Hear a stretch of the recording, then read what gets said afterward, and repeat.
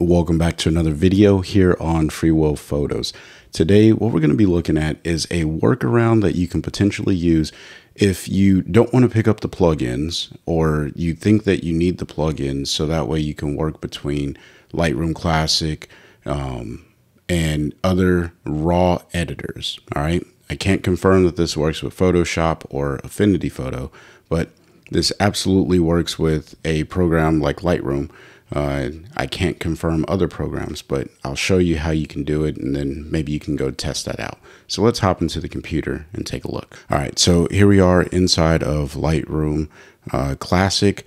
And as you can see, I just have my Unsplash images. I use this primarily to sandbox or test things out uh, in conjunction with ON1 Photo Raw. So what we're gonna do is right click on an image here, all right? I'm going to just select this one. I'll right click.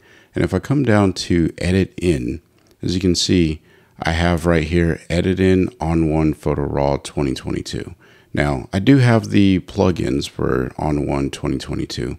However, this is not the plugin. This is the standalone version of ON1 Photo Raw.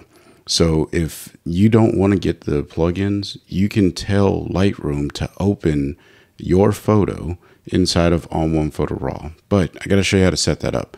Now, this one here, you can see that it's already selected to open in ON1 Photo Raw 2022. So yours may say select an application or something along those lines. Well, I'm just going to jump over to the preferences and it's going to, when you click on that uh, select an application, it's just going to open up the external editing preferences.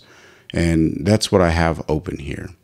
Now, down here where it says additional external editor, all right, uh, you're going to go with a custom. And right here, there's probably nothing listed. You'll click on choose and then on your computer, you'll navigate to wherever your application is stored. So on a Mac, you know that that's in the applications folder. I apologize that I can't tell you where it's at on a Windows machine, but I'm sure you know how to find that. Once you do, you'll select it and it'll pop up right here. So down below, you have some options of what you can send to ON1 Photo Raw for editing. What I would recommend, if you're using Lightroom at least, that you send it as a PSD file. All right.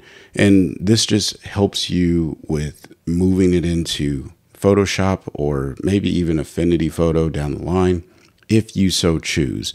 Uh, you can absolutely send this as a JPEG or a TIFF.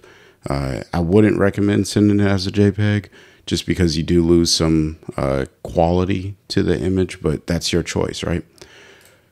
Then you can choose your color space and then you can also shoot, choose your bit depth. Now, I like to send the largest file size that I possibly can, so I choose 16 bits, but you can choose whatever works for you. And then the resolution, I usually just leave that at 240 and it'll be all right. Once you have this all set up the way that you want it to go, then you just hit the little X to close out the preferences. And now when you right click, you should be seeing ON1 Photo Raw 2022. And then if you decide to upgrade to the standalone of 2023, you can just replace that with 2023. So now when I click edit in, it's going to give me this dialog box. Now, if you are doing your raw editing inside of Lightroom, you're likely going to want to choose the top option. Now, if you are just using Lightroom as your catalog uh, storage device, because that works best for you and that's what you want to do, you can do that. But you may want to edit an original uh, document. That's completely up to you. I won't tell you what's right or wrong, but just know that you have three options here. You'll choose the one that best suits your workflow. Once you hit edit, your computer is going to think for a second. Now, as you can see, I already had ON1 open. It does help to open ON1 before you uh, you do this. But if you don't it'll open ON1 for you.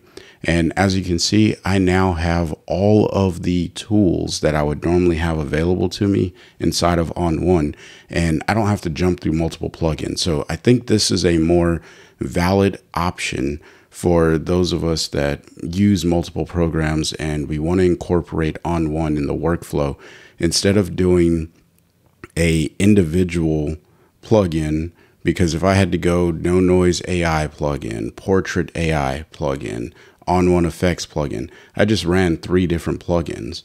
But now, if I wanted to, I can run all of those plugins. I have no noise right here. I can run that uh, tool. If I wanted to go over here to the portrait, which I'm not going to click because that'll just take some time and that's beside the point. I think you get the uh, premise of what I'm sharing here. So I'd be curious to hear your thoughts if this is something that you think would be value added for you down below. Now, before you go away, let me show you how to get your image out of ON1 Photo Raw. So we're just going to go ahead and add a LUT because that's the easiest um, edit here, right? So you can see I've added a LUT. So all I'm going to do is hit done.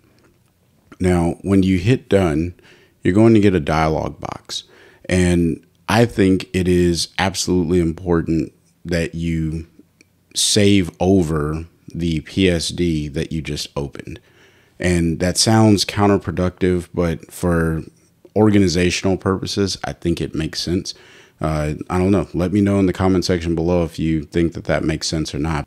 So by clicking on the dialog box down here or the selection box down here, you can choose what type of file you want to export. I recommend you keep it as the same file that you already sent, uh, which is a PSD. So that way you're not getting extra files. But if you want to send it out as a TIFF, a JPEG, or a PNG, then you can, or even a Photoshop large document. I don't recommend a DNG just because when you're sending the file into ON1 you're already losing that raw quality so sending it as a dng i think is a little misleading but uh, let me know in the comment section below if you think that that is a valid uh, export feature here so i'm going to leave mine as psd and i'm going to hit save and then it's going to tell me hey man do you already have this particular file name and type saved in this folder are you sure you really want to do that? Because you're about to overwrite. I'm sure I really want to do that. So I'm just going to hit replace. And ON1 is going to do its rendering process thing. And this may vary for every computer. I didn't do much uh, to this particular edit. So I don't think it's going to take too long. And there you have it. It's done. So now it's just saving the file. And then uh, it just brings you back to whatever folder you were in in ON1. So I'm just going to minimize that.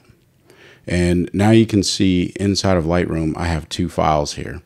I have the one that just came out of ON1 Photo Raw and then the original.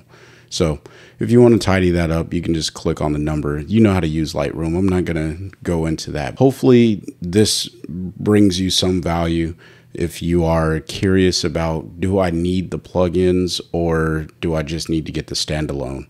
Again, that's a decision you have to make for yourself. I just wanted to offer this as a workaround solution for those of you who may be considering. Now, if you are looking to pick up ON1 Photo Raw 2023, I can help you save 20% by using the coupon code FreeWillPhotos20 when you go to checkout.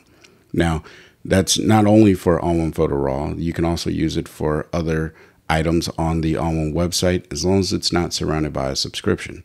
So if you want to save 20%, you can check out that coupon code. And I greatly appreciate everyone who uses it as it helps this channel continue to grow. I would love to hear your thoughts on the workflow that I just showed. If you want to see more content about photo editing, click the video right here.